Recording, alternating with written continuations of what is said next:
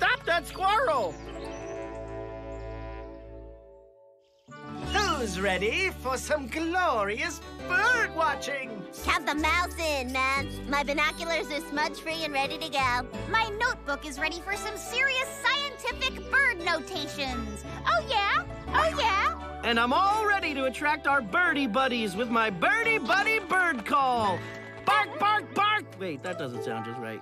Worry not, my furry friend, for I have a surefire way to attract our birds. Behold, the bird feeder. Hmm. Squeaks, that's for the birds. Rolling nature cup. See, if you leave food around us wild animals, we eat it. It's kind of our thing. In that case, we shall hang this feeder in yonder tree, where the only wild animals that can eat from it are the birds.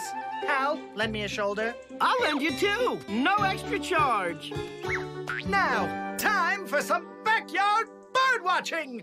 Tally ho!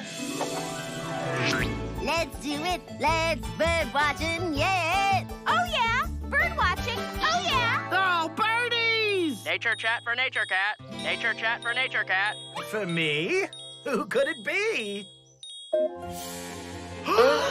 Cruiser!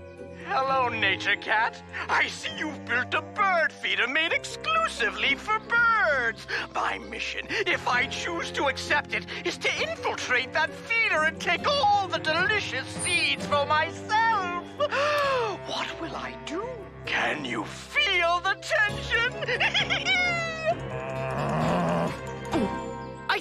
it. It feels fuzzy. Oh, wait, that's just my tail.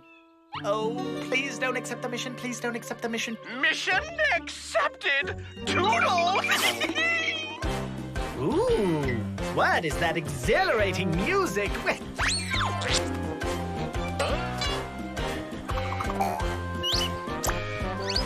what's happening? Is the feeder okay? The feeder!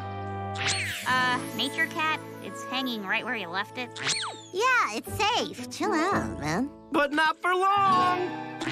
Don't try this at home, kids.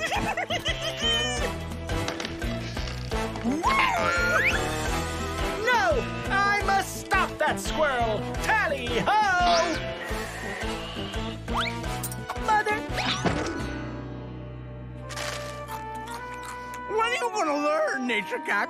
You'll never design a feeder that I can't conquer. I am just too good. Squirrel power! It all happened so fast. How did that squirrel do that? Like this. Whoa, that squirrel has some serious hops, huh? Whoa! Check out the way his claws grip that tree. Oh, he's not so great. Yeah, he's not so great. Thank you, Hal. He's so, so, so, so great! Let's just forget about the squirrel and get back to bird watching. Um, How? Cruiser will just take all of the bird seed again. oh, no, he won't. Because we are going to make it impossible for him to get to that feeder. Yeah. Wait, can we do that? Oh, yes. Tally ho! And now for the piece de resistance vegetable oil! Vegetable oil. Interesting. Are you frying french fries, Nature Cat? Nope. I'm going to slather this pole with oil to make it extra slippery. That squirrel will never be able to climb it. But Cruiser didn't need to climb a pole. He just leapt from branch to branch to get to the feeder. Ah, you're right. I need to ponder this problem. Hmm. Hmm. Hmm, I got nothing. Why don't we just put the pole far away from all the trees? Ha ha! Yes! Amazing idea, Squeaks. Just need to simply move the pole.